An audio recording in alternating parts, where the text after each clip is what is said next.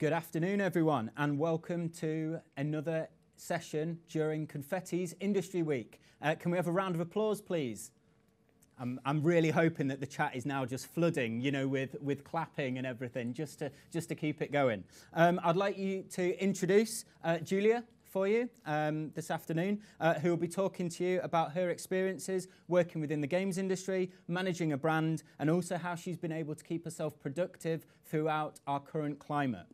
Uh, please use the Q&A functionality within Zoom if any of you have got any questions that you'd like to ask Julia throughout today's session, and we, of course, will answer those at an appropriate time. Please do keep the overall chat, however, to a minimum. We, of course, hope that you enjoy today's session uh, and take away a number of points from within it as well. Uh, firstly, though, I do want to thank Julia uh, for taking the time out of her busy schedule today to join us for, once again, Confetti's 50th, uh, not 50th, 15th uh, Industry Week throughout not very good with the whole nerves sort of thing on the front of it. So uh, don't forget that you can continue to book into additional events all the way as we move through the week by visiting iw.confetti.ac.uk and using your confetti or NTU email address. Uh, all throughout the week, we are running a competition on Instagram in which you can get involved and once again on Twitter as well by using the hashtag IW21, sharing, you, sharing your experiences throughout the week. Uh, of course, I could carry on talking throughout, but I'm sure you don't want that. So, of course, I want to pass over to Julia. Over to you. Thank you very much. Hi, hello everybody. Actually, before I get into talk, Chris, right? Okay, um, I have some top advice. Actually, um, what I found more and more with presenting is that when I first started, um, like no one like it was a sort of quite a niche sort of skill set. No one really needed to do it. But actually what i realize now is that everyone needs to know like do live talks do pitches presentations all this different stuff which always raises up the question of and i don't particularly like it which is uh you just sort of get used to it which is uh to uh you know calm your nerves when you've got to do uh, like a bit of a speech or an introduction. Can I give you some top tips, Chris? Feel free, feel free. Okay. If, if, if it's whiskey, then, you know, we're, we're all good on that. I mean, whiskey does potentially so but then you end up just saying something really stupid later on like once you've got past the first like initial bit that was scary so it's kind of pluses and minuses uh, one of the best bits of advice i can give anyone and this is not just about presenting or pitching it's just in life in general you know sometimes when you're just so terrified that there's too much adrenaline and it just makes you like mumble and like it stutter through what you're, what you're trying to do and what you want to do is get that kind of sweet spot where um, you have a little bit of adrenaline, just enough to make your brain run a bit quicker, but not too much that it kind of pushes you over the edge. Um, so the best bit of advice I could give everybody would be uh, breathing, these breathing techniques. So you've probably done some, maybe like in meditations and things like that before, and there's a couple of different ways you can do it. Um, the one that I like to do though is uh, it's it's you basically breathe in for four. So you do like a slow breath in for four, like one, two, three, four.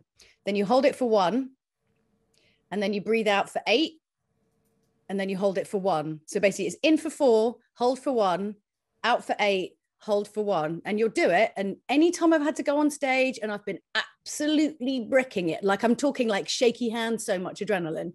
Um, if I do that, I'll, I'll do it. And while I'm doing it, I'm like, this is not going to work. It's never going to work. Why would it work? If I do it for 30 seconds before uh, I do something that I'm terrified of, it you what you don't realize at the time is like your heart rate is phenomenally increased which means that you just you think you don't have enough time because your brain's moving so quickly and when you want to talk you want to speak slowly and clearly and having lots of adrenaline tends to make you speak really really fast so if you do that before you do anything, after about 30 seconds, you'll suddenly realize that you feel quite calm.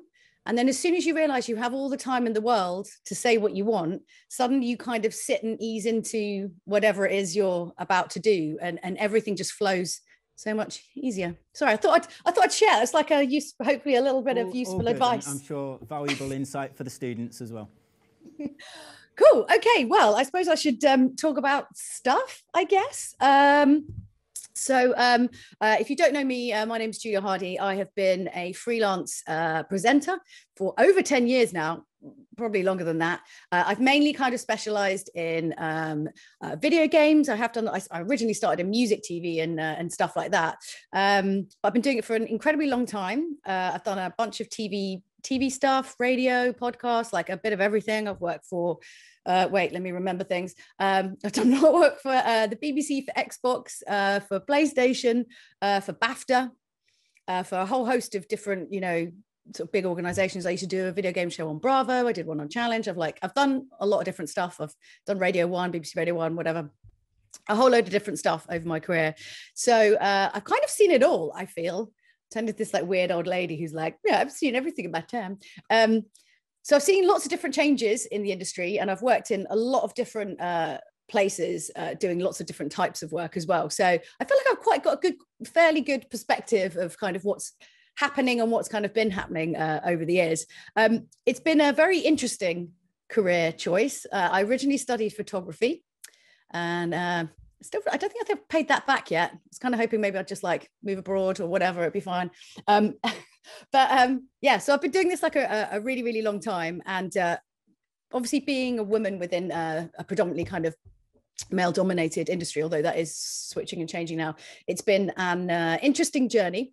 Um, to you know kind of get to this point and as you can imagine you know as you are you guys are kind of like starting out um, you know if you are a female in the industry you can kind of sort of see some of the uh, issues that um, happen within the uh, within the industry. And let me tell you like as much as it's still a little bit terrible now it was significantly much worse before. Um, so way back in the day when i first kind of got into video game stuff there was myself uh, and maybe like four other women who did kind of wow, like kind of writing or on camera stuff. So myself, uh, Jane Douglas, who does um, outside Xbox, uh, Keza MacDonald uh, was also around at that time. There's only like a few of us together, and we kind of hung out uh, and hung, clung to each other like sort of limpets in a storm or something. It was it was a very weird thing to be in this industry where you felt very, very, you know, very, very much so in a, in a minority. Um, and I think uh, even going so far as back, like when I used to go to like review events and stuff, and being like one of the only women in the room, um, there is that kind of weirdly, I don't know, I'd feel acutely aware that like somehow I was representative of all womankind. I mean, I know that's not the case, but that's certainly like how I felt. Uh, and sometimes when I'd be like playing games, I'd get stuck on a bit and then I'd be really embarrassed to ask for help because I felt like it was just, oh, look, I'm the rubbish girl gamer or something. I don't know. There's a lot of stuff that gets in your head. Um, but generally speaking, you know, the games industry uh, for, for the part where in, in terms of like who I met, uh, you know, journalist wise and sort of like my peers were amazing. It was a really, really lovely experience. I've had some ludicrously fun times in the before times when they used to do video game events. Great, amazing. Um, obviously things have changed rather significantly now i mean they were changing even before obviously covid happened there were less and less kind of you know big kind of grand scale uh, events and stuff like that one of the things i did notice though uh, you know being a female in the industry was just the sort of the comments that I would get compared to uh, comparable men in a sort of similar position, or even sometimes not even the same position as me, uh, their opinions were clearly revered, whereas I was always kind of questioned, which was a bit annoying. Um, I did make the mistake when I was doing the Bravo TV show to like Google myself. That was an error um, in hindsight. Uh, I don't think anything can really prepare you for reading like it's like you know when you're at school and you like came into the changing rooms or something and everyone stopped talking and then you realized that they were all talking about you and then you suddenly have that horrible sick feeling in your stomach? Kind of like that but like over and over again. Um like you know you sort of feel like you've just walked into a room and everyone's just talking about how terrible you are or something. I don't know. Um so it was kind of a lot to deal with. Um and initially i used to get quite heavily into arguments with these let's just call them idiots uh, online and again it's it's a small percentage of men. It's not it wasn't like a huge like giant number but very vocal small minority. Um, and I used to get into some very very long-winded debates because i was like i'm smarter than them. I can outsmart them. All of their arguments are complete like bullshit basically. But i would spend all my time being really angry and like doing stuff and like furiously writing like really like salty facebook replies you know when people use facebook. Um and uh, I kind of kept getting into it. And I was uh, dating someone at the time, and like, my partner was just like, "You're so like stressed and angry all the time at all this stuff because I couldn't not reply, you know." And he was like, "You should just not get involved. Just just don't say anything. Like just leave it. Let these people think what they want." And you know, it's that classic thing of like, don't feed the trolls. And whilst I sort of, I don't think I really agree with that in principle. I mean, I think there are some people who are just like super hateful and it's just ignore that. But what happened at that time, we were all told to say nothing. And it never really sat right with me. Like my superpower as a human is just to shut up and be quiet. Shh, just don't say anything. It's fine. Which just sounds like this sort of like weirdly 1950s attitude towards women. I always thought, anyway, I didn't really like it, but then I did it because I was like, everyone, everybody told me to do that. And I just didn't like it. I was sitting there at home, like, you know, getting these comments and just not saying anything and not kind of getting involved. And I was like, there's got to be a different solution to this because all we're doing is we're saying that the online space is perfectly acceptable to say, oh, also to say all of these things without being challenged. Screw that. Like, it's part of the reason why things became so bad later was because we just left this void of not addressing these problems. You know, you've let them just run riot and say whatever they like without challenging them. And like, that's not that's not really how it works. So I was trying to think of a way to respond back, but kind of get people on side because I felt like when I talked about it, the men I spoke to about it didn't really understand or like couldn't believe that I would get such comments. And a lot of the comments I would get are quite aggressively sexual, uh, violently sexual kind of comments. And you know, whilst you could say, oh, well, they're never going to do anything about that. But bearing in mind, as a woman uh, growing up, the likelihood of something terrible happening to you is probably at the hands of somebody you know very well. And we are all acutely aware and have probably all had experiences along those lines. So if somebody we know really well, potentially even a friend or a husband, uh, can do horrible things to us, what is Weird Man on internet capable of? I mean, surely he should be capable of so much more because he doesn't even know us and theoretically doesn't even care for us, you know. So these are the kind of things that sort of like play on your mind when you get these sort of very aggressive sexualized comments. Um, what's what played on my mind. And uh, I didn't really like it, but I really wanted to show people that this was what was going on because every time I mentioned it, no one believed me. They were like, "Oh, you're imagining it. Oh, it's just the same for guys." Or oh, I was like, "I was really, I really don't think they say these similar things to men at all." Um, so basically, I thought the best way of dealing with it was humor. So I, I tried to get myself into a position where I could reply, where my heart wasn't racing. I'd never post anything if my heart was racing because it meant that I wasn't in the right hilarious frame of mind to come up with a good response. So I'd wait till I'd calm down and then I'd post something. So um, I'm trying to think of like some good examples because I sort of when I did it, I used to screen grab. I'd take away their name as well because I sort of felt like at that time it was sheer ignorance rather than kind of malicious intent. They just didn't know any better. This is how you spoke to women, and this was acceptable. So I used to take that because I didn't want to turn a guy into like a hateful lifelong campaign against me by kind of outing him publicly. Better to quietly humiliate him, then hopefully he'll learn from his mistake. Um, so uh, I'm just trying to think of like some good examples. Um, there was um, one guy said, "What did he say?" Uh, I want you to uh, I want you to come and sit on my face. Uh, and I said, oh, um, I don't think I can, I don't think I can date a guy who can't afford chairs. And then there was another guy who like in all capitals said, uh, I want to F you from behind whilst grabbing your tea and then on your face, all in capitals, like quite aggressive. Uh, and then I said, Oh, I don't think you can manage that level of multitasking. You can't even take off caps lock. So it was this kind of thing, right? So I'd, take these screen grabs, write these stupid things and replies, take them out, and then post them up. And um, which was good because then it's kind of like everyone can laugh at the the ignorance whilst also educating everybody else that these are the sort of things that happen. Um, and still everyone's like, oh, I can't believe it. And you're like, this is this. Why do I? It's annoying that I have to prove evidence, but okay, fine. Here it is. Take a look. So I ended up doing this after this had been going on for quite a long time, and a friend suggested that I put into a blog. I made into this blog called Misogyny Monday, where I'd like post a different up, different one up each week. Uh, off the back of that, I wrote an article for the Guardian about it. Someone saw it; it was quite convoluted. Anyway, I ended up doing a TED talk about it, um, like a TEDx talk, which was amazing, terrifying. That was fully. I did breathing techniques for that that was terrifying. That was on stage in front of 1300 people. I didn't even realize that were many people there. I could i only saw the front few rows and it wasn't until afterwards i realized that like all the chairs went like up like that and there was all full and then yeah i'm glad i didn't see that before. I don't think i could have dealt with that. Because it was you know standing on stage is difficult with the best of times if I was just waffling on about video games and how much I love them, easy. But this was like heavily to timed. I was talking about sexism, misogyny within the gaming industry. I knew full well if I didn't word it correctly, uh, my life online was over, and probably SWAT teams would be sent to my house, you know, or other such horrific things.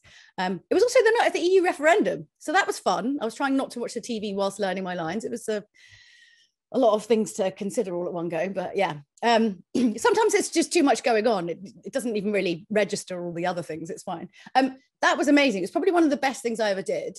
Um, and even as a presenter, that was like top tier terror. Because like there's no script, there's no auto cue. You have a few sides. You have a very very big clock that counts down, like this sort of like oppressive force telling you to hurry the hell up and get to the end.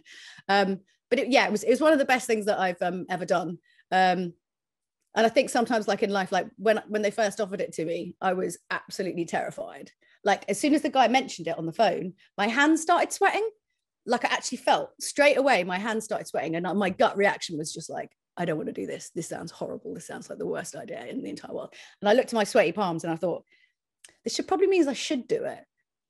I don't know because there's it's okay. An example I think for like life is um, if you go to the gym and you do the same things all the time over and over and over again right? Your body just gets used to doing the same things uh, like over and over again and you never really see what you're fully capable of.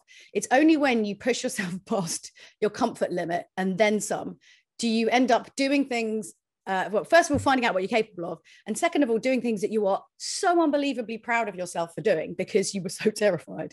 So, anytime I get sweaty palms um, when it's something to do with work, I tend to say yes and then worry about all the rest of it later so yeah, I did this whole thing. That was um, quite funny. One of the most amusing things though was um, the the one I was telling you about the guy with caps lock who wanted to, you know, whatever me from behind. Uh, hilariously, um, they wouldn't let me put the full like swear words up when I had it up on the screen when I was doing the TED talk.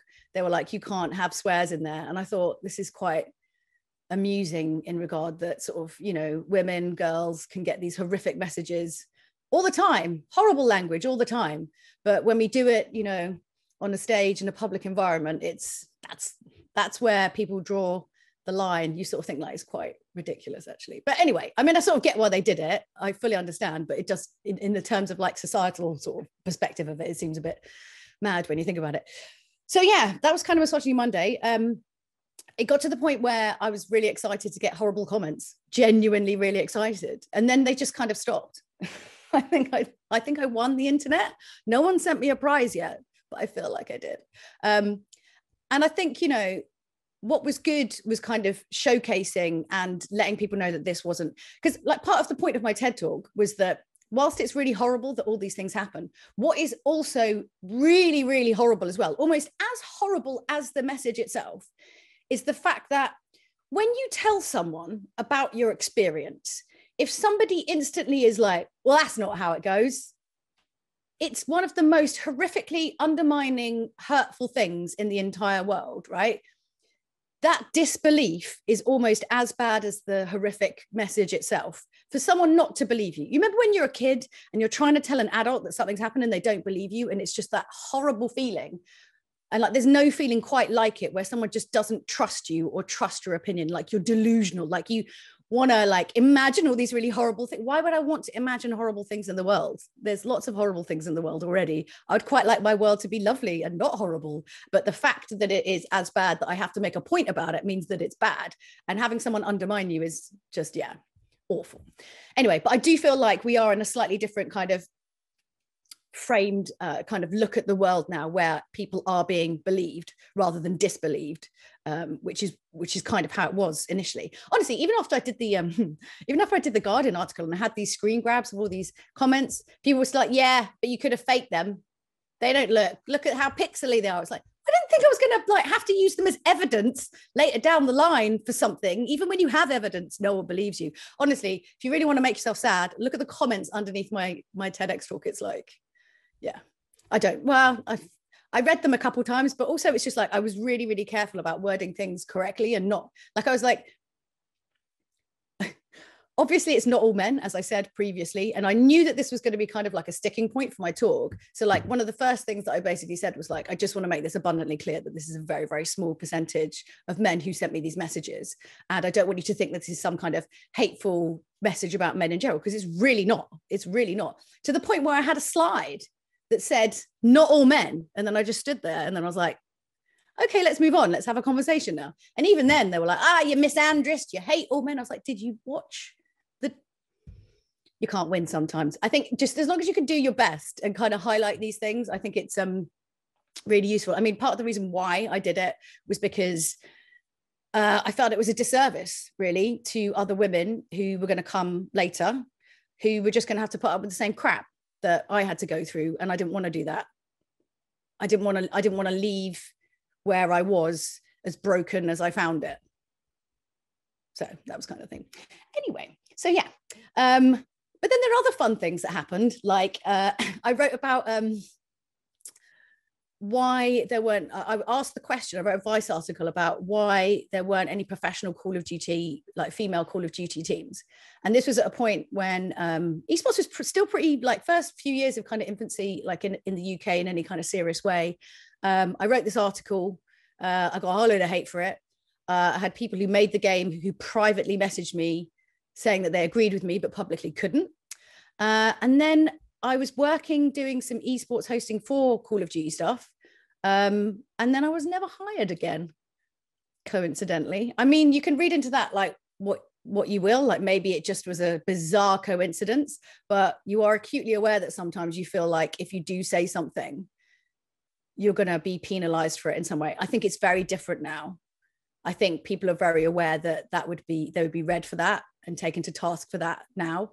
Um, but yeah, this this is why people never stood up for themselves or came forward about different things because there were these horrible penalties for your career if you did that. I mean, this this particular company I work for, I'd worked for them for quite a number of years, doing a lot of Call of Duty events, and I never did, I never did another one. You know, but there you go. Things are different now though. I don't want you i don't want to be like really morose. I think things are infinitely better. I think we're a much better footing. I think um, there are a lot more positive things out there and you can really start to see an effect change if it's something that's important to you.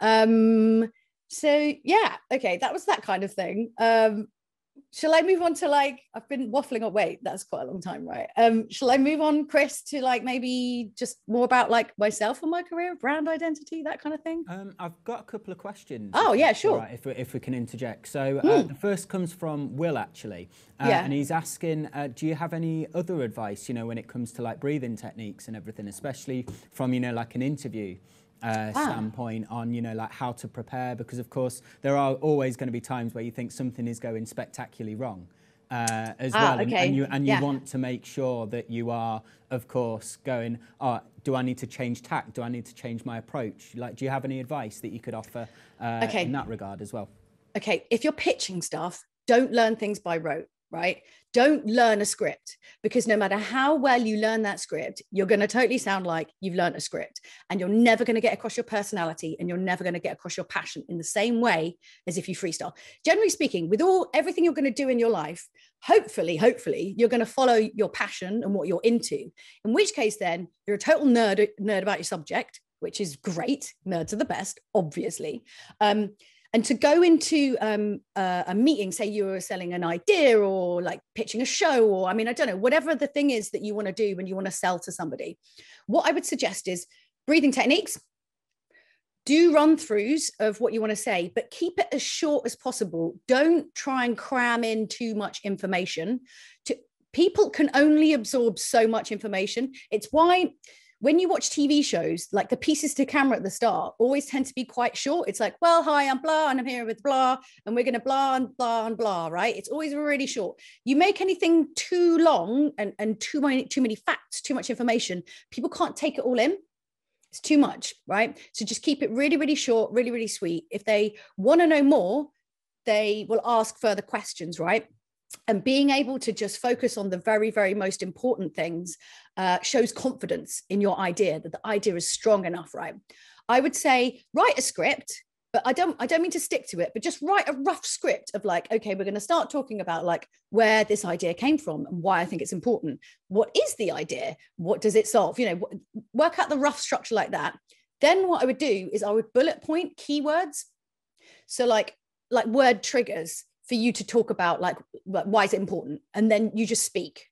Um what's it going to change? Like what's gone before? Or what, whatever the thing is almost have like trigger prompts right? So all you have to remember is that sort of flow. When you talk about something in your in your normal speaking voice uh, and it's something you're that you love and that you're passionate about there's something just about natural speak that just cannot be you know we're not actors you know we're not going to be able to get across a convincing performance of why we think this is important if i'm trying to think what the next word in that sentence is. It just doesn't work. You talk all the time. You know you make sentences out of nothing. You don't think about it. You're just you know designed to do that right? So if you can basically keep like and also here's a bit of a cheat like if you're really really worried and you think you might forget stuff this is my sneaky sneaky also top tip right? You're really worried that you're going to forget your order of something. A very, very small piece of paper, right? Like this, like this big, right? Hold it in your hand like that. Write your six like keyword prompts for whatever the discussion is that you're about to have. Stick it in the palm of your hand like this, right? Keep it really, really small in the palm of your hand. So you can still kind of like talk, blah, blah, blah, blah. But then you can always just do a little sneaky look down to your hand for the next prompt. So like if you're if you're really nervous and you think that your nerves are going to mean that once you stand up there you're going to forget what you're talking about, right? Just keep it in your hand. You can basically hold your hand down and just like look to the floor. So it looks like you're looking at the floor and you can see, oh, okay, design, right the design of this thing is really really important and why it's different to the you know whatever the keyword is that's going to prompt you and then you can just keep it flow keep it smooth keep it passionate you can look at them and engage with them because you're talking as you normally would and trust me i've used this many times didn't for a ted talk because I was too worried I wasn't going to see my hand. But um, I once did stand up comedy and I wrote keywords on my thumb because I knew I was going to hold a mic there. So I was like, that, that, that, and that. And no one could see it because I was really nervous. So there's lots of really sneaky ways you can look really confident, even if you're not. And like it's nice to have a little crutch sometimes if you're not used to like speaking in public. Like if, if you're someone whose nerves get really the better of them sometimes, breathing techniques, write a script, work it down, and then basically squidge it into like your keyword prompts. So you know roughly what you're going to talk about, and then you can just work out the sentences around it as you go. And then if you still feel really, really nervous, I'd run it through like a bunch of times the night before, do it in front of some friends, like over Zoom or whatever, get a bit of feedback. Like that's really useful. The more you do it and the more comfortable you can stand up in front of people, the better you're going to sell your idea because you're going to exude confidence. And confidence in you is confidence in your idea. So, sorry, that was a bit waffly. No, uh, really, really useful. In fact, um, there was another question that came through from Sunny. Um, yeah. And Sunny was focusing on if you're delivering um, a talk or you know you're standing up, you're presenting, you're doing anything like that. There's yeah. always going to be that time you know where your heart races and you know you don't yeah. have that opportunity you know to undertake those breathing exercises mm. um, because you can't just stop in the middle of like a live demonstration or anything. What would okay. you say your best advice is you know to help with that and how would you you know encourage students to, to think okay. about that when they move forwards?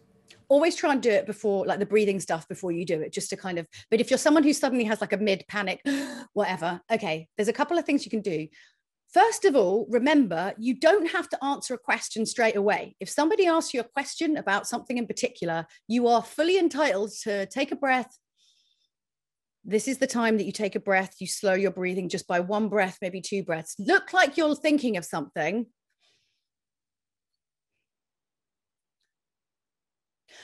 okay you know you are allowed to use that time to think and use that time just to get a couple of nice slow deep breaths in there and just do it kind of as subtly as you can. If you are someone who has just like a constant level of anxiety there's another really really good top tip that i taught myself which is um any of you guys watch rupaul's drag race? Um have you ever noticed how rupaul's hand when when she stands on stage when he stands on stage is uh he's always doing something like really weird with his hand like this I guarantee that's from nerves. I bet he's basically putting his nail into his hand, right? Here's the thing when you're nervous, it kind of like comes across in your body. And I've done shows where like I'd be sitting in a chair or something like that. And what I would do is I would get my toe on the floor. Imagine this is my, my big toe. So I'm sitting cross legged. I want to look really comfortable and relaxed, even if I'm absolutely not. I would put my big toe onto the floor, right? And just, or inside my shoe and push down just on my toe, just push on it, right? So it's almost like slightly painful, but not really. And basically, what you're doing is you're putting all of your anxiety into one little bit of your body so that the rest of your body can just be really relaxed and chill. And it's like putting all that tension into a foot or a hand, or you can like put your nail into your um, into here or like maybe you know you can do something i choose the foot because i figure people can sometimes see my hands or whatever but you can kind of channel all that anxiety into there so that's a really really good one definitely works uh, and yeah the sneaky thinking breath is also really really useful as well Okay, thank you. Um, if we if we want to carry on, I've got a couple of other questions, but I think they're more suited as we move forwards, uh, if that's all right. So if we jump into the, the next little bit. All right. Okay. How do you present yourself and maintain a brand identity? I don't know. What even is that these days? It's mad. I think like when I first started presenting, I'd talk to mates about like, you know, I had an agent and they're like, you have to do things like this and do things like that. And, you know, you don't like say these things and you behave in this kind of way. And, and it's really funny. And, you know, have to kind of maintain this social presence online. And now, like, I feel really sorry for everyone. Like, I chose this as a job sadly and it's part of my job and i still kind of hate that it's part of my job but it's part of my job so i kind of accept it. And it's kind of i kind of feel sorry that everyone has to have some sort of brand identity almost even if they don't do anything to do with this like nonsense. Do you know what i mean? It's quite annoying i can imagine. I mean i don't know you might love it. Um i think the easiest thing like i've always i was very much a tomboy growing up right I don't know if that's really a useful phrase. At the time, that's what everyone called it, tomboy. It doesn't even mean anything anymore. But like, I never really wore makeup. I got loads of brothers. Most of my friends were male. Um, I, when I first got into presenting, I literally turned up at this to meet this guy who was involved in making this channel in like some like pajama bottom trousers and like a jumper that I'd bitten like the wrist off of. I was a really emo-y, grungy child, teenager. Um, and like I look terrible. I never wore makeup. I remember sitting in this kind of uh, this first kind of chat we were having to, about going to this audition next week, and he was literally just like, "Yeah, you you just sort that out, you know, before you go to that kind of thing." And I was like, "Oh God!" And it was at the time where I'd like never really dressed quote unquote femininely, whatever that meant, uh, and I kind of thought that to dress like a woman was like one thing. Like this is how women dress. Like they're this like singular thing. I didn't get it at all. I was like terrified. I remember they like took me out shopping and made me buy all this stuff that I just hated, hated, hated, hated it. But I thought that's what I was supposed to do, you know, to like do TV presenting, you got to like look a certain way and all this sort of stuff. And it wasn't until, you know, sort of figuring out kind of who I was, what a more feminine version of Julia was, because I didn't really know what that was. I'd literally never played with that at all growing up at all. Um, and figuring out kind of like who I was. Uh, did I finally sort of find kind of peace with everything? And like now I'm, you know, I like putting on makeup and wearing a nice dress and doing things and stuff like that. Um, I never thought I would. I really, really didn't. I thought I was just going to be one of these like fresh, barefaced people the whole of my life. Um, but yeah, I think like with presenting, certainly it's about figuring out who you are. And as soon as you know who you are, it's all very easy. All the decisions become very, very easy. And I think now we're in we're in a, a, better place where you can be quite honest about who you are and what you are into and what you like and what you don't like without kind of fear of reprisals quite in sort of like the same way you're supposed to be this like weird you don't have to be this kind of weird airbrushed version of yourself well i mean unless you're into that um so I think, yeah, having that sort of brand identity and the brand identity should always kind of be you, really, whatever it is that you're kind of into. And I suppose maybe it's it's very specific if I'm talking about being a presenter. But like say you were like a like a game dev or whatever, and you're thinking about like the brand that you have to put forward. As long as you're passionate about your subject, and I'm pretty sure if you're going into it as a career, then you will be, then it's really easy what you post up and how you maintain that identity because you just talk about things that you're interested in. That's it. That's literally it. Um, I think like and, and how to present yourself. I, I think just really be honest. You know, I think sometimes we can really, really overthink things. I'm, if anything, I'm an oversharer with how I'm thinking and how I'm feeling. But um, I don't know. Maybe that's just because I'm a presenter. I just like talking about everything, even if no one else wants to talk about it. yeah. Um, uh, Julia, um, yes. just, uh, just with that, um, mm. a, there is a question that I, that I said I was going to hold fire on a little mm. bit more. Um, uh, it comes from Suleiman, and he's, he's asking how how would you stop um, like doubting yourself? Then you know if you're wanting to present something and you and you get it into your mind that you know you're not necessarily the best person to do that job, or you or you feel that you know some there's somebody else that might be on the cards, you know, as a potential alternative presenter or anything like that. How mm. how would you deal with that? What sort of advice would you offer? Okay, so I feel like imposter syndrome because of the way that social media is nowadays and it's just so like its tentacles just get into everything i think imposter syndrome is everywhere. And even i go through it where i'm just like oh i don't know I... it. It happens right? It happens to everybody. And i think you just have to remember that it's just that's all it is right?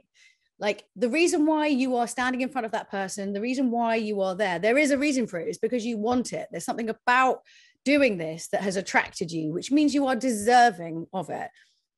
Obviously, everybody's brain is evil and it will naturally just tell you a whole bunch of negative crap because it just wants to your brain wants you just to coast through life doing the same thing over and over because it's easier. It don't want to learn new things. It don't want like that's why it makes it hard right? You need to not listen to your brain and just be like right this is what i want to do. Uh, this is what i want to learn and this is what i want to go into. You have to understand that uh, your brain can tell you some really, really negative stuff. Like I'm, I've suffered with depression my whole adult life. This is something I'm acutely aware of. Um, it's just how negative my head can be if I let it. I just tell it to shut up. Like if I'm going through like a really negative spiral where I'm just like, I'm worthless, I shouldn't be doing this job, I'm like not qualified, or whatever the thing is that's kind of going on in like your head, you just need to tell it to shut up. And I know I appreciate that sounds a lot easier than it is. You need to break that cycle of that comment, right? Either by telling yourself every time it says something negative, you have to say something positive, and you need to make that a habit. Don't let it get away. You've got to keep that tally even. Every time it says something negative, you've got to say something positive. It's really difficult to do and really annoying, but it's really useful. If it, you're getting super spirally and you're you're getting really upset or really frustrated or really anxious and you can't even muster that up, break the cycle by going somewhere and doing something else. Because like if I was sitting at my desk and having like super negative thoughts like over and over and over again. And I was like, I can't even say anything nice to myself. I would get up, I would go somewhere else, I'll go for a walk, I would change my scenery, I'd look at something else, break that cycle of that negative thing. I remember once seeing this counselor and I was telling them about how I just burst into tears in a boots one day. And I'd like never really thought about it before. She was like, Why did you start crying in a boots? And I was like, I don't know. I was just walking around like looking at things and I burst into tears. And she was like, Well, what were you thinking about beforehand? And I was like, oh, I don't know. And then I sort of thought about it and I was like, oh, I'd seen this thing and it reminded me of this other thing. And then it made me think about work. And then did and then and then I'd said all these like negative, like 20 negative things to myself. And she's like, well, no wonder you just burst into tears. You were just really horrible to yourself. Obviously, you burst into tears. like that just makes sense. Um, so I think once you start recognizing like those little things in your head, those little moments, and being able to kind of try and calm and control them as best you can. Because the thing is, it's really difficult to start with, as is everything. It's really difficult to start with to make yourself more confident and all these things, like so hard to start with, but it's so worth it. And every time you do it subsequently, it's a little bit easier and a little bit easier until you almost like unprogram your head of like negative stuff it will still always come back it will always be there but you are you are ready and with the tools to combat it when it does um, it just takes a little bit of perseverance but it's so worth it and then once you kind of overcome those things so say you you know you've gone now into this uh this you know you're going to present this thing you're going to p- pitch this thing and then you've done it and it was really difficult but you you know you you calmed yourself down you prepped the, as best you could and then you come out the other side right okay once you've done something once you can then use that to shut yourself up you'd be like, yeah, but I've done this before. So obviously it's going to be fine. So you can use it as ammunition to do the next thing. And then you're like, well, I've done this three times before and actually it was fine in the end. So be quiet, brain. You don't know what you're talking about. So you can keep using that. There's another thing as well about framing, how you look at how well you've done at something. Perfectionism is an absolute killer. It's basically like a chain around your neck that will just make you miserable and drag you down all the time. I used to become fully obsessed with trying to be perfect at my job. Nonsense. Who cares? It's rubbish. There's no such thing as perfection. All you ever have to do, and this is the only this is the only framework I judge what I've done and how I do in my life, is to do your best, right? So your best can be fully different depending on which time of day, what happened the night before, did you sleep, did you have all the information you needed beforehand? Did something weird happen before you went in the interview? Did like one of your friends say something really dickish before like you did this and it really twisted you out or like whatever the thing is right? You can only ever do your best right? Go into a situation and be like right let's just i'm going to do my best. I'm going to try and get the best result that i can under these circumstances right? You go in you do the pitch. Maybe in the greater scheme of pitches and, and the, the, the scale of how good you can do your pitches you were at 50% so it could have been better right? But at that moment in time, you did it to the best of your ability at that time. And if you can say that to yourself and walk away from that whole experience and basically say, I did my best, that's all that matters. You might do a pitch that's worse than that one day, but it's still your best because something really crap happened just before you went in, or like, I don't know, you were pitching something and your laptop died, or I don't know, whatever the thing is, right? Under the circumstances, as long as you can walk away saying you've done your best, that is that is the only bar you should ever measure your life with because then you will always be happy with what you've done as long as you've given it the best shot that you can under those circumstances. And don't worry about like it was better or worse than anyone else's because nobody else was doing it with those particular circumstances. I thought about this once. Um, I did a bungee jump right when I was 17. I was on holiday with some friends. That uh, it's going somewhere, trust me. Um, and I remember I was I'm terrified of heights, absolutely spectacularly terrified of heights. But I was like, I'm doing it. I'm going to do this bungee jump right. I went up. I nearly passed out. I thought I was like having a heart attack. It was horrific, right? But I thought it was quite a good thing to do because I was like, maybe I'll get over my fear of heights. I mean, it didn't work, but I, I persevered. Um, and all I remember was I was standing at the top of this thing and I was thinking, well, I'm not coming back down. And like all of my friends were standing at the bottom watching me. And I jumped off and it was rubbish. Like, you know, you're supposed to kind of like dive forward. I basically did like this jump that was like, and then went down the wrong way and then and it just looked stupid, whatever. And I got off this thing, and one of these guys I'd like gone on holiday with was like, that was like a terrible jump. Like, what even were you doing? And I thought to myself, fuck off. Like, number one, you didn't do it.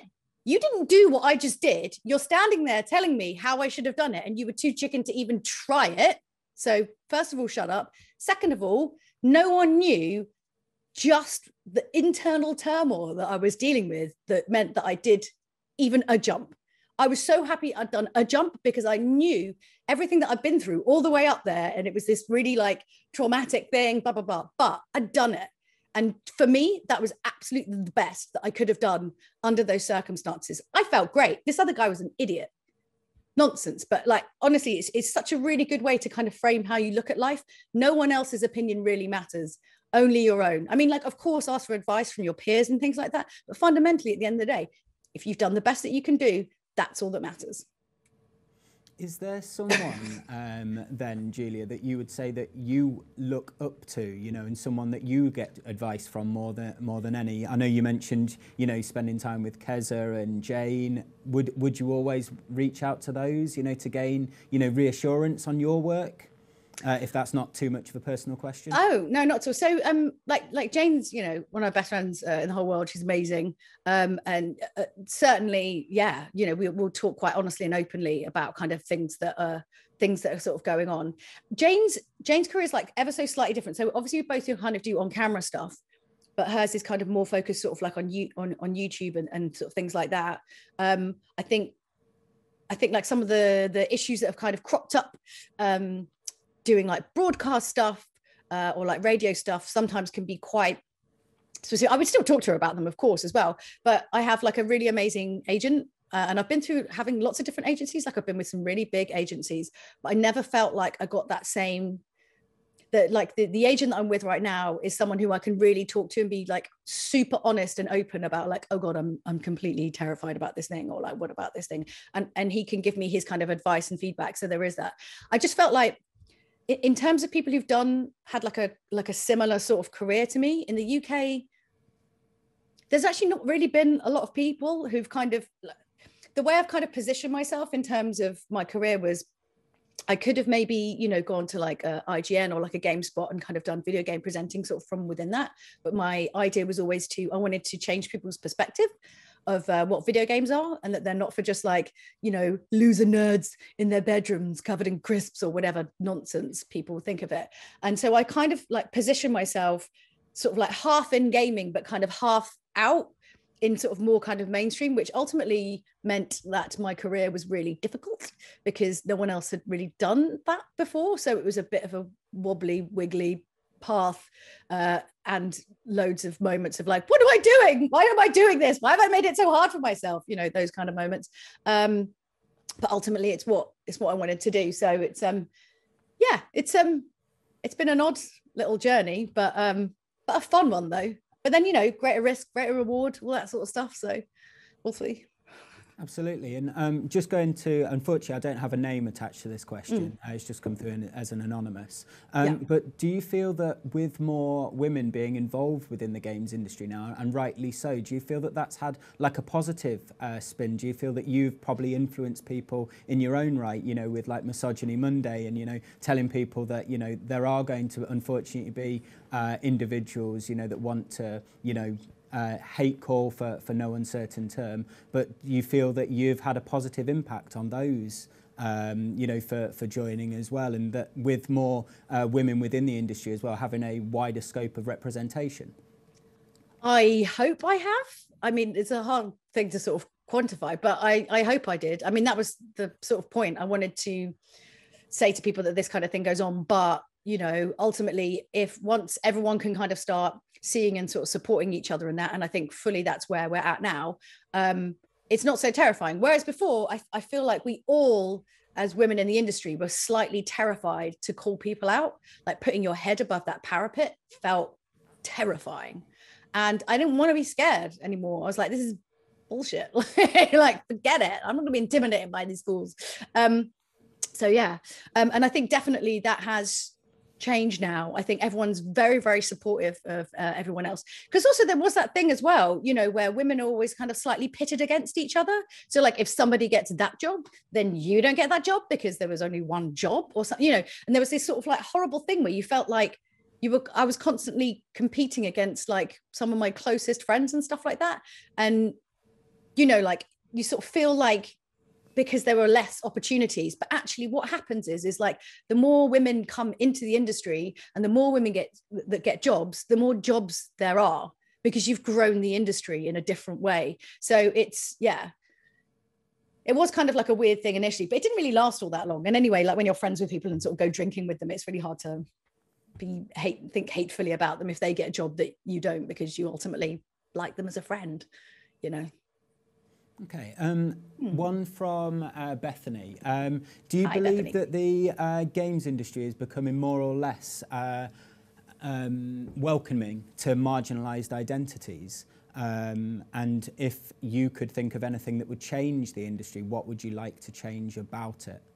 Ooh, um, I definitely think uh, that everyone is like fully aware of uh, being able to kind of represent better within uh, within the industry. I think that's that's been forever changed and that won't ever go back. And I think lots of uh, companies are creating really, really positive steps internally, externally to try and move things in the direction that they should. So I think that that's that's that's set in stone and is kind of on its way to progressing. What would I like to change about the industry um, if I could? Mm, um,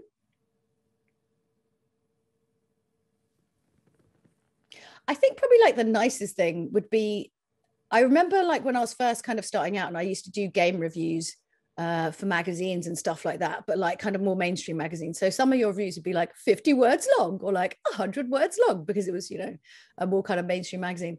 And I think it'd be really nice if people who reviewed games got like paid for the amount of hours that they actually work playing a game because it's not like reviewing a film where you just sit down for two minutes and you're like and you type something out.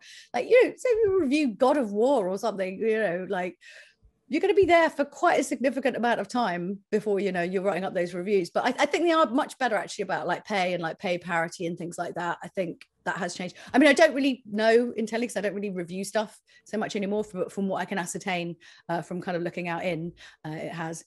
Um what else would i change about the industry ah you know what i would really really love is i would love there to be more um like programming on like main terrestrial channels. I know I know we don't really need it because we don't because we're games and we make our own content that we want, but I think to really fully change people's perspectives about games, even though like now lockdown people are a lot more aware of the positives of games, it is still that whole thing where it's like, oh, that's in the bedroom. Um, I would like there to be like more kind of mainstream, like terrestrial channels that would make gaming programs. I mean, the amount of nonsense they make about everything else we're like the we're like the biggest entertainment platform in the entire world and are growing year on year. We like we tower above the rest of every other industry. And yet they'll have bunches of like music shows and film shows and different stuff like that but there needs to and i don't mean just like one big show. There needs to be like 10 shows about video games minimum you know just in the impact and everything that they're doing. It's um it's still ultimately really frustrating in the uk um it, it feels like a real grind you know to sort of like get things commissioned and people don't really understand it. America is amazing when it comes to stuff like that. Like they really do get gaming and kind of respect it and commission more stuff. So i hope that in the future the uk can kind of yeah move things forward a little bit in that regard. That would be lovely uh, do you feel that as well that there's still the stigma associated with it being, you know, like a male-dominated industry? I know uh, oh, from yeah. like the esports perspective, being mm. heavily, you know, male-orientated. Uh, would you like to see a rise in in female competitors as well? Do you would you like to have like female-only only leagues as well? Obviously, I know we think about that from like a, a footballing perspective. You have, you know, your male league, your female league, or, or would you just like to have everything? So it's it's a tricky thing like when you look at something like okay you look in like normal motorsport so you look at like the w series right? I mean first of all like before we even get into it please why did you call it the w series? It's like calling it like the vagina monologues or something. Just call it something else that isn't like directly linked to like the women series. Anyway but like i can sort of appreciate it's kind of whilst I don't really want to agree with sort of segregation, right, into have like male and female, especially when it comes to esports, because there's no physical difference that we shouldn't really have to do that. But like, there's got to be a reason why more women aren't kind of coming through, and like, what can we do? And I was having this conversation actually. Um, uh, with some people at esports, are probably better not to like specifically name names, but um, I was talking about maybe there was a way instead of having like a separate like having like a separate league for women if there was a way of doing like male like or like kind of like uh, multi-gendered um like teams. So it was like instead of it being like we're like women over here uh, you just have a rule in a particular tournament that says that it can't just be all one gender uh, on a team. It's got to be multi-gendered or something or however you want to kind of like phrase it. So then ultimately uh, you know the the the the male competitors is then it's about lifting people up and helping them get better so that they can you know be more involved in that um esport but yeah that's the only thing I've been kind of thinking. I've been trying to pitch that to like a couple of places, but um, I don't know how far I'm getting. I just think it, it's. I just feel like it's more positive than um, segregation and having like a separate league entirely. But I fully understand why it's necessary. Like you need to, you need to practice. You need to compete. But then, really, to be the best at anything, you have to compete with the best. So then, ultimately that's there's always going to be a bit more of a ceiling right and a bit more of a breakthrough from that but then yeah it's all a little bit problematic in one way or another um, do you feel as well then, just from like that esports perspective? I know there's always a lot of talk, especially around Call of Duty. You know, like the uh, profanity that's used, or the trash talking, and you know, popping off for, for no uncertain term at the end of each segment. Do you feel that that becomes a barrier as well? You know, that um, women or multi-gender, you know, don't want to get involved because of because of that, you know, stigma surrounding it as well.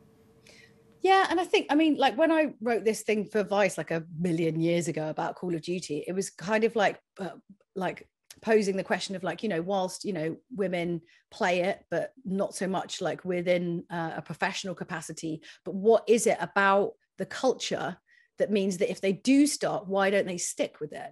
And there has to be kind of questions around that like why if there's not general uptake anyway like why is that happening? Um but if there is why don't people if they do why do they drop out? Like what what is it about those kind of cultures that maybe feel kind of intimidating. And whilst people can say like, oh, it's not intimidating, like you have no idea. I was literally telling you a story earlier about like even when I was reviewing games and I walked into a room full of like you know male games journalists, I felt like this weird pressure to sort of represent women. And then ultimately, even if it's affecting your performance by a few percent, that's enough to mean that perhaps you're not, you know, you're not competing at your best if that's how it feels, you know. So I definitely think there is that I mean, there is that kind of stigma, and there is that kind of thing of like, it's it's going to be a harsh environment. Like you've got to have like tough skin, and it's it just all sounds a bit. So if you've got to do that, and then you've got to do all your your training to like be the best, but then also you've got to have like like rhino skin to like deal with it all. It's just it sounds exhausting, frankly. Do you know what I mean? Like I'm not surprised it's off putting, even if you're into a particular game. Okay, um, I know we spoke about this separately, but do, would you like to share your story about the KSI um, Logan Paul with, with the oh. students as well? okay, so if there is anyone out there who's watching who's ever wanted to do presenting or whatever, and actually, I suppose this kind of can apply to a lot of different things. When I first got into presenting, I had this like really sort of like romanticized idea of what it'd be like. Like someone sends you like a script and you're in your trailer just idly thumbing through it whilst you drink some sort of herbal tea and then someone calls you to set and you know it's nonsense right? It doesn't happen that way. Um, i spent an awful lot of like my early presenting life being really frustrated and annoyed because people would throw things at me last minute like like okay uh here we're going to shoot all these pilots. Yes there'll be an auto cue so you half learn the script because there's an auto cue turn up no auto cue or hello i've turned up on this day. Um, i've learned this script. They're like no that's not the right script. We've changed it. Here's a different one here's some pages can you learn? It and you're like oh my god like completely first of all like totally unprofessional as far as i was concerned but also like to learn the scripts really difficult. Like you need a bit of time to be able to do it to be able to do your job well. This is what i was talking about doing your best within the circumstances. So that pilot that i shot that day wasn't great but the fact that they just told me i had to learn a script on the spot i thought i did all right you know all things considered. Um so understanding that things will always get thrown at you last minute. And I don't think this is necessarily specific just to presenting. Things are always going to mess up last minute. And it's being able to not get angry and assume that probably something will go wrong. And you should just be aware that that might happen. A good example of this was um, I was um, I was hosting the KSI Logan Paul fight, the first one in the UK in the Manchester Arena, and um, I was quite aware that it was probably the biggest live audience live show that I've ever done. Um, really like broad mix um, in terms of kind of like eyeballs and, and who was there. And the plan originally was to have like these two, like this one like uh, Sky commentator and this other boxer with me, because at the end of the day, it's going to be like I don't understand boxing. I know like the the I know the guys like really well. I do charity football matches and stuff for them, and that's why they sort of brought me in. Um, but I don't know boxing. I don't know what I'm talking about. I'm not pretend to know what I'm talking about. I'm just there to kind of facilitate getting that information out of these two experts because there's going to be a lot of people who are watching this fight who have never seen boxing before. So we need to understand, you know, what's going on, blah, blah, blah. So like we turn up to this like live stream. It's like, you know, you're like, I'm literally right by the ring, like, you know, live stream, like no pressure they're going through the running order and they're like, right, so basically we'll go live to you. And then eight minutes in, we like go to um, the casters and then they're going to start off the fight and like, don't know. So then I think it was maybe like earlier on in the morning, they said this Sky News pundit wasn't going to be there. So I was like, okay, right. Well, all right, you know, I've got like this professional boxer. This is fine. Um, about three minutes before live, come over, they're like, oh, hi, Julie. I'm like, yeah. Like, so, um, yeah, we can't find him don't know where he is. And I was like, right. So it's so three three minutes to live, you were saying? And um, what was the time in the running order until I go to the casters to start the match? They were like eight minutes. I'm like, right. Okay. Now I could probably bullshit my way through three minutes of waffly chit chat when I know nothing about a subject. But eight, no, I'm no, that's not going to happen. Um, so I literally said to the guy, I was like, okay, find anybody, somebody who's done boxing once. I don't just find someone I can ask some boss, boxing questions to because eight minutes just it's not going to work. And then luckily they found this guy. I think his name was Spencer or something. He like used to run like some boxing clubs or something like that. So they kind of brought him in. So I was like, okay, this is fine. Bit of a panic, and this was just before going live as well. So then I'm standing there in the arena, like the lights are on, someone's counting me down in my ear, which is always like the this is where you do the breathing thing. This is literally the moment you do the breathing. Um, and they're counting down, and I'm like, I was all a bit of a like a fluster because of all this stuff that had happened. And I'm like trying not to freak out that it's like one of the biggest live streams, and like I don't know what I'm doing. Like I t- I can't talk about boxing, but we'll figure something out, you know. Um, so that they're counting me down and I'm starting to freak out. Like there's stuff in my head, like, oh my God, this is gonna be such a trash fire. What are you doing? Like all this stuff. I was like, okay, no, I can't have this. I can't have this kind of level of chat going in my head because I'm gonna screw everything up, right? So I'm doing the breathing. In for four, hold for one, out for eight, hold for one. You can do like a four, four box breathe, but that's my preferable way of doing it. So I was doing this, but like my head was still racing. It was just like, what are you doing? Like, blah, blah, blah. And what you need to do basically is to replace what is being said in your head. If your head is saying, oh, you're terrible, like, what are you, blah, blah, blah, whatever negative crap that's going on, you replace it with something else. I literally, I think, what did I say to myself for that one? For that one, I think I just repeated in my head, I was like, this is your job. You love your job. You know how to do this. You got this. And I just kept saying that over and over again in my head, like forcing myself to say it in my head because it doesn't come naturally. But by forcing yourself to say it over and over in your head, you take away the space for whatever the negative comment was. It can't fit in because you're basically saying this positive one over and over again.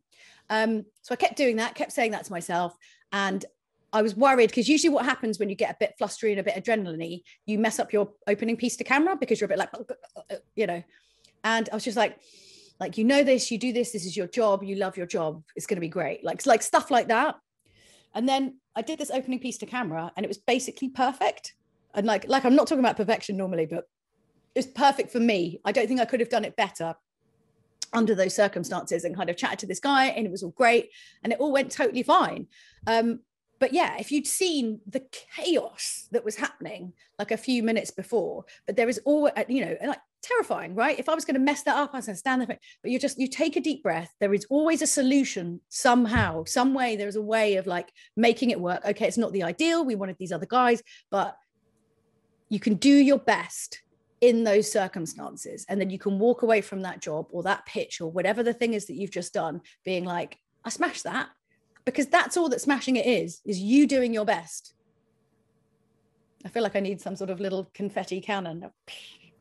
It feels like a missed opportunity not having confetti. I'm just telling you that now. Uh, we'll, we'll, see what we can do. We'll see what we can do. We'll, we'll green screen it in and, and those sort of things. It, will be fine. It'll be fine. Um, so, from like a, a, presenting point of view, what would mm. be the first bit of advice that you'd give to a student then, if they wanted to follow in your footsteps? Like, would it be you know practice those pitches, make sure that you know that is the first thing that they want to look at, or would you say you know focus on the journalism side? What what would you what would like you like to do presenting as a job job? Yeah. Okay. Um, I think first of all, ask yourself the question of like, what kind of presenter do you want to be? You could literally do any kind of presenting about anything in any way, shape, or form in a million different mediums. So have a think about what kind of stuff interests you, and that's usually the stuff that you just subconsciously like gravitate towards or whatever. Um, one of the biggest things about presenting is just getting used to doing stuff on camera and getting comfy. That's probably like your first hurdle that you'll have to kind of overcome. Uh, generally speaking, especially now you're probably not going to have like live auditions or anything like that. So getting used to camera is uh, really really useful. So um, what i would say is when i look at a camera so as i'm looking at this camera now i don't focus my eyes on the camera. What i'm actually doing right now is i'm just looking almost like through it and like i've relaxed my eyes. So i have no idea like what it says on like the logo here or anything like that. I'm just looking through it. And it's like a sort of relaxed way of like almost like looking past it. Because if i focus on it I'm then like really aware that like I'm looking at a camera and um, that's kind of like distracting in a way so i just almost like relax my eyes and look past it don't think about the fact that people are watching you, which is, of course, easier said than done, but just kind of relax into it. And like the only way really to stop thinking about that is just to practice on camera until it's like slightly boring. Basically, you just keep doing it until it's boring. So say you wanted to uh, do like TV presenting or like host a show or something, right? So the first thing I would tell you is uh, you need to get good at doing pieces to camera, like opening pieces to camera. So I would just write some, any old nonsense, like, hello, this is Julia. I'm here in Suffolk and we're going to be talking about, you know, the bird fanciers ball or whatever stupid name of something to come up with. Um, and again, like write like three bullet points. So like uh, Norfolk, bird fanciers ball, and then one fact, right? Something like that. Three things, three bullet points, have them on a sheet next to your next to your camera. Record it, and then just freestyle.